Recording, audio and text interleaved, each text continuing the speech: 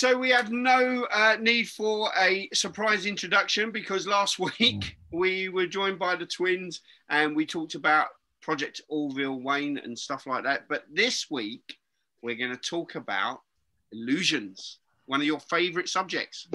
And yeah, they- Wayne, obviously. Yeah, go on, Wayne. They're like, they're identical twins, aren't they? Very identical without the Yeah, Without the hat. They got the same hairstyle and everything. Took us- ages. Ages to get that. uh, you can't tell them apart except the sister's got moustache.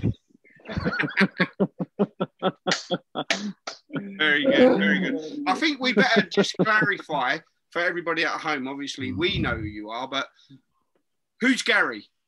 Right, I'm Gary, as it says on here, Gary Paul. And So, uh, therefore, And you I'm- must be Paul. And I'm twin. And I'm twins. because this is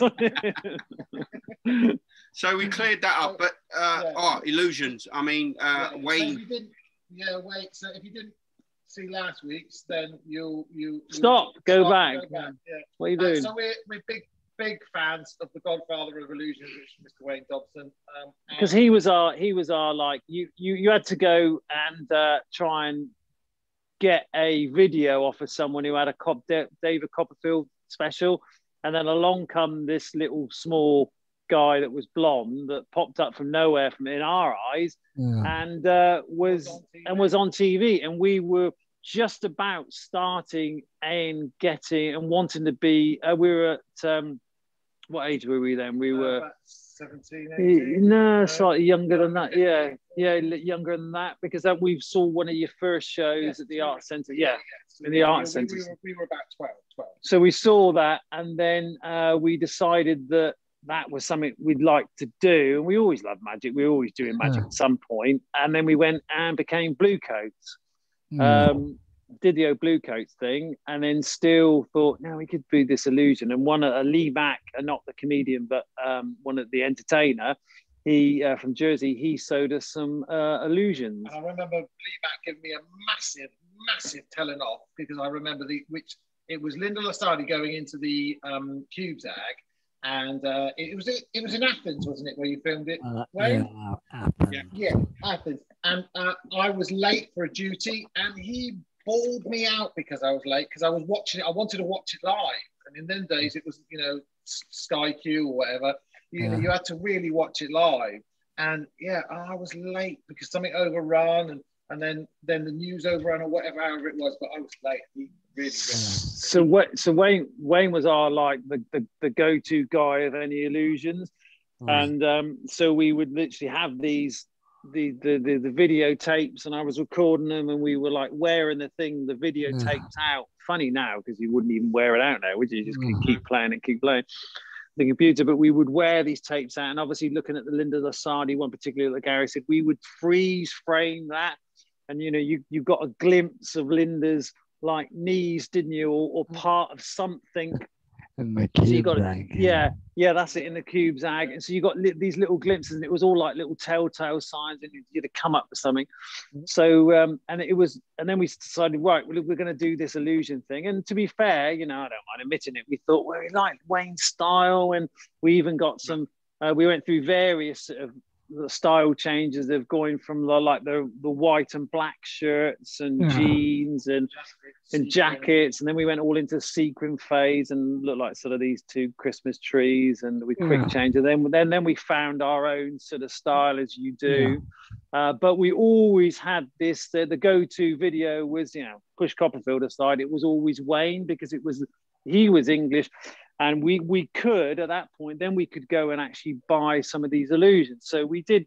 We we had a really good uh, magic career um, off of the back of Wayne Dobson, really, because we we sort of we we bought a lot of Euro illusions when when we could afford, and we made some very wise decisions of buying some of these things. Yeah. Clifton, Cliff, Cliff Bradley uh, gave us our first one, which is Shadow Theatre. We'll, we'll take you back there in a minute.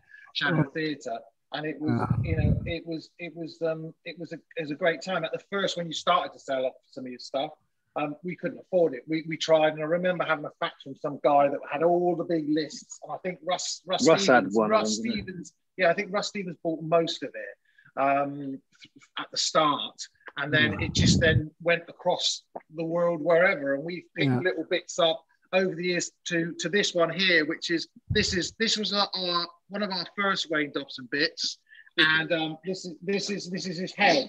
Now when uh, when Wayne when we did Project Orville with Wayne, Wayne came down the first time. We'd never met him because people say never meet your heroes. So we introduced Wayne back to his head, and I think it was one of the most emotional um, moments Yeah. of for all of us in the room. We had tears in our eyes because we, we brought Wayne back to his head. How strange and dark that sounds. And this is sat in pride of place in our office. Yes. Everybody that comes to comes past, walks past it, always goes, "God, that's Wayne Dobson. Can I have a photo?" And that's Mm. everybody. We've had loads of people from from Bradley Walsh to Billy, uh, you name it, Brian Connolly. They've all come. Squeaky's come and go, "Oh, can I get a photo? Can I get a photo?" And it's just, and it's it, it has pride of uh, pride of face with the with us. This, Keep, keeps away the rats as well. That's Uh, another uh, thing we've no. There's no rats in the office.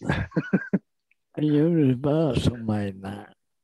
Did they? Yeah. see, that, see, see, for us, that's like a good little sort of thing, like you told us, Mm. because it's it's another piece of providence on something that has some and Yeah. it's some historical, magical sort of um, Yeah. history. remember this last last year it was broadcast the year before but this guy here this is reece from um loads of people have remembered him from league of gentlemen and stuff he does inside number nine now Yeah. he writes it with his partner um and um yeah so we did an episode of that called misdirection um, and it's worth to watch on the Arsway because it's still there. they're just Yeah, and, finish and Wayne it. gets a really good hat tip. from- Yeah. yeah, and, and he gets a hat tip from it. So uh, it was, it was great, great to do. Yeah, we've spoken- and We've spoken to Reece and sent him some yeah, uh, tricks. great, yeah, yeah, yeah. Reece, Reece is great, and he's a massive magic, mass, massive. Yes, magic he player. said he's got That's like um, And we had zigzag and all this in his yeah, hat. That's it. Mm. Yeah, He hasn't got the room, he was saying. He ain't Yeah. got the room for We it. keep on giving him those little, uh, those little statues, which is, uh, yeah, he's, oh, hey, uh, we want more, we want more, but yeah, he's got a little room. But yeah, so um, yeah, so shall we take you through? And, Yeah, Yeah, that'd be great. Yeah, let's have a look what at we've the. got uh, here. We've got others, um, but we, we didn't get them out. So I'm just going to. So the first one, again, most of the stuff um, is, is packed away, but we packed we picked up a couple of them. So this is the slicer. Um, so this went from uh, Oh, obviously Wayne had it. Um, then it, I think it went to Russ Stevens. Then Russ sold it to a guy called James somebody. Then he sold it to Christian Fowler. Uh, then it went to Gerry Cottle, and then it, it came to us. Um, so we big- were big good- pedigree. yeah, it's a yeah, it's it's a Mendoza build. But it's like like with all this history, that if, if you ever did own any of the tricks that we show you, if you're watching, then by all means email us and um, and email us and say, look, I own this trick between this time to this time, because obviously we'd like to we'd like to obviously get a uh, get get an idea of who's who's owned it. You know what illusionists are like; that we we all buy and sell stuff. It's great Mendoza build. It's, Mendoza does some great builds, great quality. Obviously, the form is gone. We've got the original form in its in its bottom box, um, but uh, yeah. So uh, great build. It, you know, it must be 30 years old plus. It's still nearly as good as it was. Great Mm. casts, great catches. All the runners work. But yeah. it just it just needs a bit of TLC, and then if you we move along here, then obviously Wayne, you'll remember this bad boy. Um, this is the again, it's had a, a few little Yeah. makeovers by other illusionists. It's not the Yeah. original sort of front doors, um, but obviously this you're disembodied. Um, so that and Yeah. it's like, if we can open her up.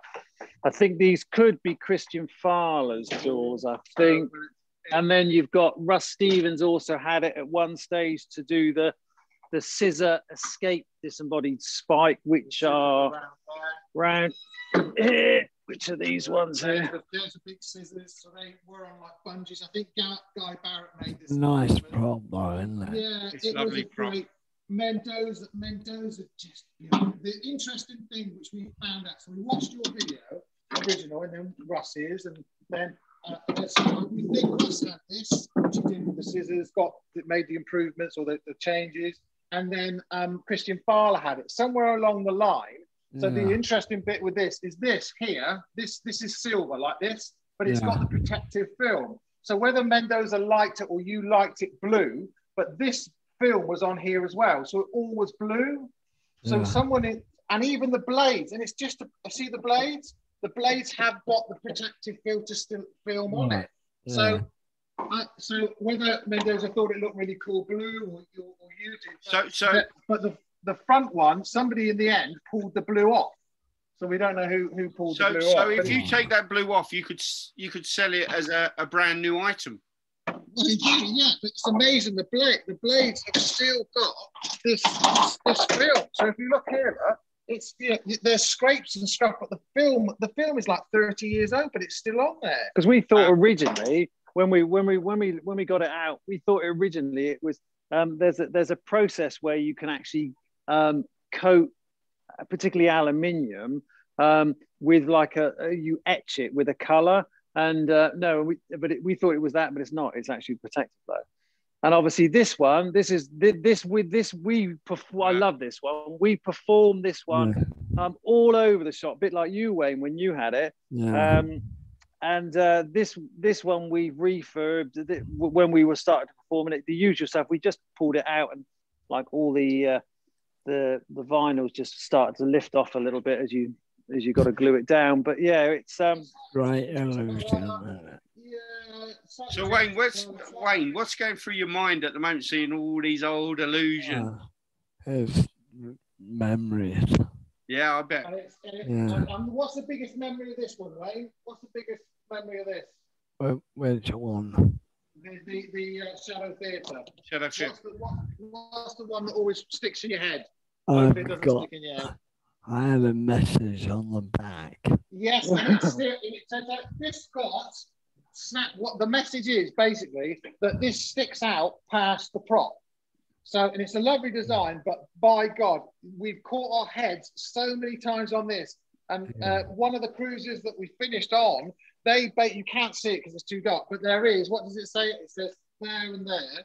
It says Yeah. like mind your effing head because Yeah. literally the last person not literally broke it there, and we had to repair it. and an amusing st- this amusing story Wayne, which you'll know is backstage you can't see those black No, like I don't know pa- pagoda shapes. So what mm. we used to do was to stick these polystyrene cups on them because after it we would do smash and Yeah. stab, or what uh, in the show we do a smash and, smash and stab. So we had these polystyrene cups. So we would put the polystyrene cups on. And of course, Mm. one day during the show, the stage hands forgot to remove the polystyrene cups. Yeah. So I turned round, ready like you did to get into the trick because I did this this one. And uh, there I could see these two polystyrene cups. no one noticed, but you just think, come on, guys. I think we may have your uh, the acupuncture. audience acupuncture. We've also got Oh, yeah. the shirt, the, the one with the clever rhyme. Uh, my shirt, my shoes, my socks. Where you, where Oh, you, uh, yeah, yeah. So, so that that with the, the piece of heart. I know Yeah. Sean Alexander, and he's, he, he won't give it up. The the water tank, the water cell. Um, I know the soaring is is out in France somewhere, and the guy won't give that up.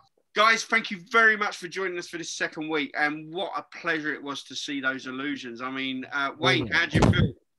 Brilliant. Unbelievable. It was great. It's great. It's like walking down memory lane, right? Can't it. Yeah. Yeah, well, it's, it's nice to it's it's nice to show Wayne, and uh, by all means, Yeah. Wayne, come on down and you can we can check them out. Uh, Mm. But if anybody knows anything about it, because I'm not an expert at all, I always say I'm never an expert. I have a small, limited knowledge. So if you know anything about the tricks, or you know anything, or you know a lead of where any Wayne stuff is, then just get, send us an email, drop us a line, and then we, we can put it to its folders because they've all got little folders with all the information that we if you've got any Sure. away stuff, whether it's you know a a handkerchief from 1972 or whatever, and that you you want to get rid of it, then just please go to info at the twins, email at info at the twins uh, effects.com. Just go to the website. Because one day, Uh, one day, what we'd love to do is to find a convention that we can then display it all, and then I thought you were going to say sell it. No, yeah, just, no, we're not like you guys. Guys, you guys will have your stall out at anything, won't you? So, so are we extending the invitation that you gave last week about coming down and having a look? Yeah, if you if you if you want to sell us a Wayne Dobson trick, yeah, you're more than welcome.